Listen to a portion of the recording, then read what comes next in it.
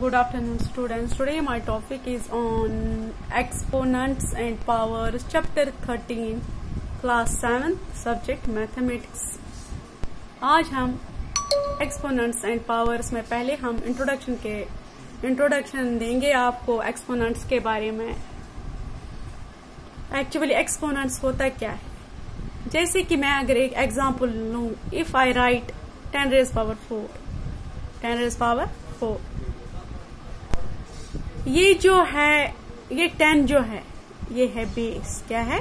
This is base ये जो ten है.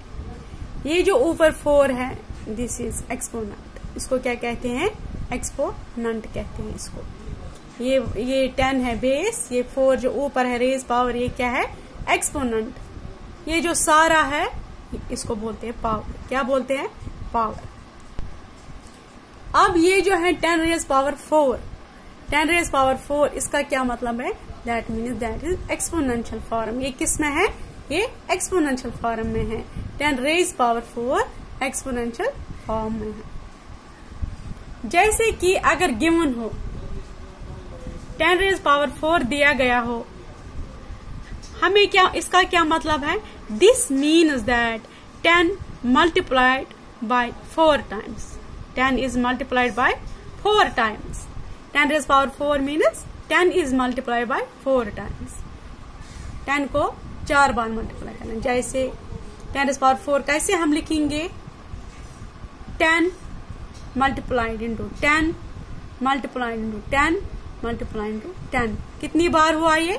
1 2 3 4 this is ten raise power four this means 10 into 10 into 10 into 10 4 times 10 10 multiplied by four times इसी तरह अगर हम एक और एग्ज़ाम्पल देंगे if two raise power six दिया हो if two raise power six दिया हो, उसका क्या मतलब है? Two is multiplied by six times two is multiplied by six times that means ये जो है टू रेज पावर इसको बोलते हैं, जो इसके ऊपर जो है, इसको raise power two raise power six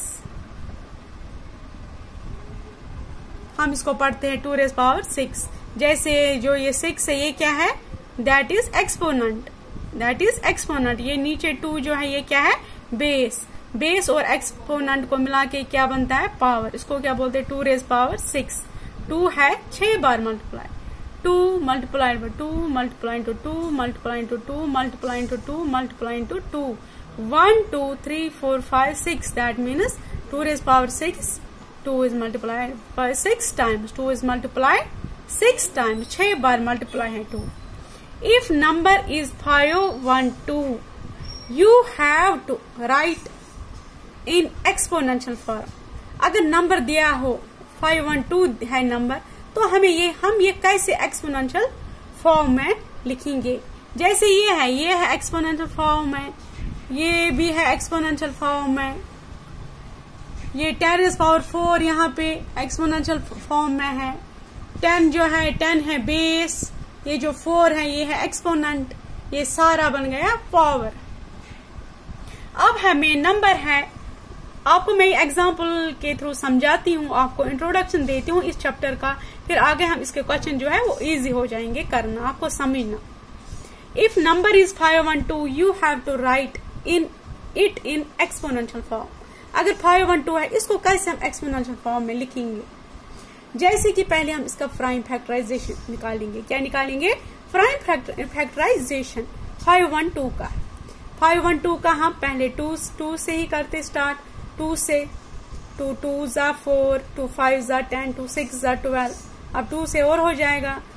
to one जा टू टू टू जा फोर इसका वन इधर टू एट जा सिक्सटीन टू सिक्स जा ट्वेल्व टू फोर जा एट टू थ्री जा सिक्स, टू टू जा फोर, फिर से टू के साथ, टू सिक्सटीन जा थर्टी टू टू वन जा टू या टू सिक्स जा ट्वेल्व, टू एट जा सिक्सटीन, टू फोर जा एट, टू टू जा फोर, टू वन जा टू। कितने फोर आए इसमें?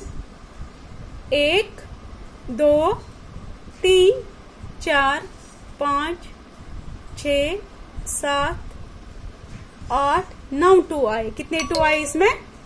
एक, टू, दो, टू, तीन, चार, पाँच छ सात, आठ, नौ। कितने टू आए? नौ टू आए इसमें। यानी कि फाइव वन टू को हमने प्राइम फैक्टराइजेशन की। इसको किससे हुए प्राइम फैक्टर, फैक्टर्स? कौन कौन से निकले? इसको टू निकले। Nine to. एक, टू, दो, तीन, चार, पाँच छ सात, आठ, नौ टू। इसका मतलब है फाइव वन, टू जो है, टू कितनी बार आए इसको? नाइन टाइम्स यानी कि टू मल्टीप्लाई कितनी टाइम्स हुआ? नाइन टाइम्स हुआ. अब इसको एक, दो, तीन, चार, पाँच छ सात, आठ, नौ. दैट मीन जो फाइव वन, टू है, वो हमको लिखना था किसमें लिखना है? एक्सपोनेंशियल फॉर्म में. अब क्या बन गया वो? टू रेस पावर नाइन बन गया। एक्सपोनेंशियल फॉर्म में फाइव वन टू का क्या निकला?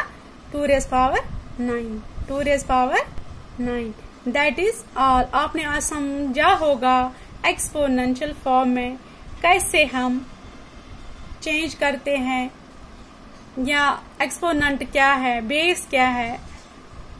That is all today's topic